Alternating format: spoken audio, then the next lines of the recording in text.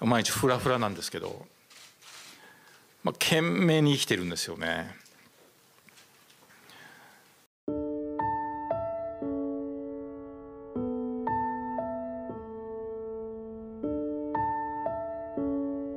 まあ、僕はゆっくりする気ないですけど妻にはゆっくりしてもらいたいというふうに思っています。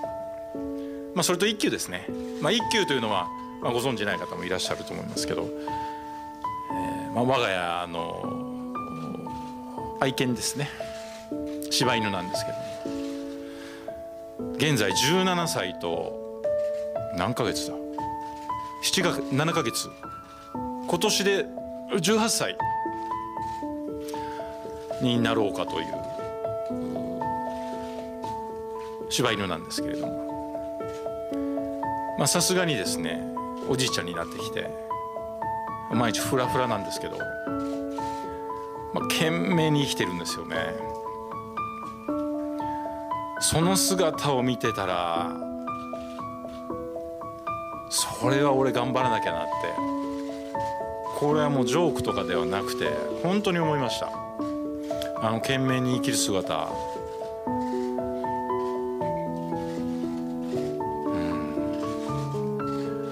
まあ、2001年に生まれて2002年に我が家に来たんですけど、まあ、シアトルの我が家に来たんですけど、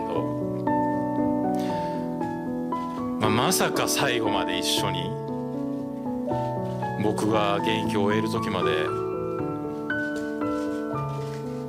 一緒に過ごせるとは思っていなかったのでまあこれは大変感慨深いですね一休の姿というのは。まあもう本当妻と一休にはもう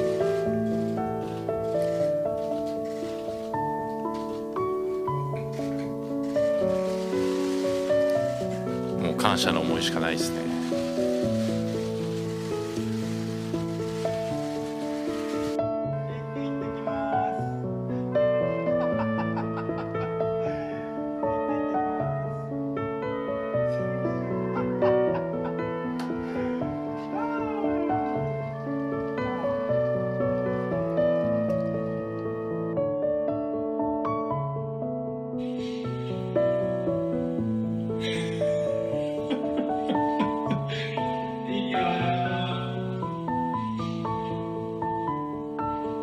17歳になった愛犬一休人間の年齢で言えばもう90歳近くになるイチローがメジャーに挑戦した年から栄光の日々も不振にあえいでいた時も共に歩んできた。一挙やつ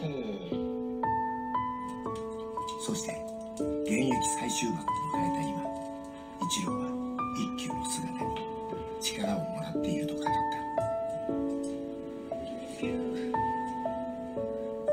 もう17歳ですから来年18歳になる年ですけどもう一生懸命生きてるわけですよ。毎日。で一休にとっての一日はその僕らにとっての一日と全く意味が違うしもう本当懸命に生きてるのが分かるんですね。それを見ていて、まあ、すごく、まあ、嬉しいしでもあの姿を見たら僕にとって現役で亡くなるということは、まあ、一つの死を迎えることと、まあ、同じですよねアスプロのアスリートにとっては。そうするとそれは確実に近づいてきてるわけですよ。でそう思った時に今自分が思ってることとか感じてることっていうのはもう懸命に生きるしかないんですよ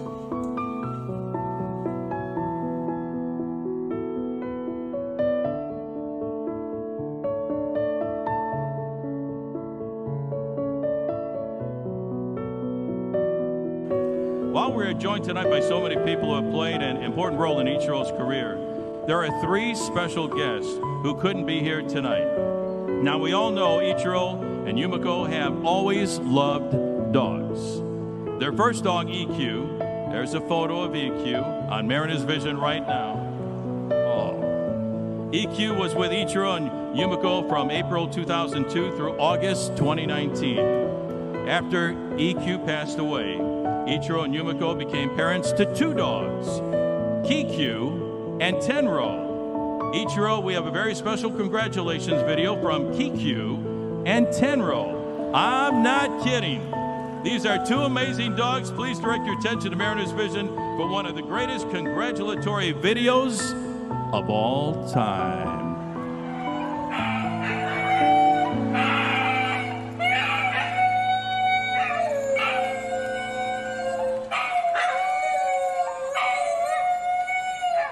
I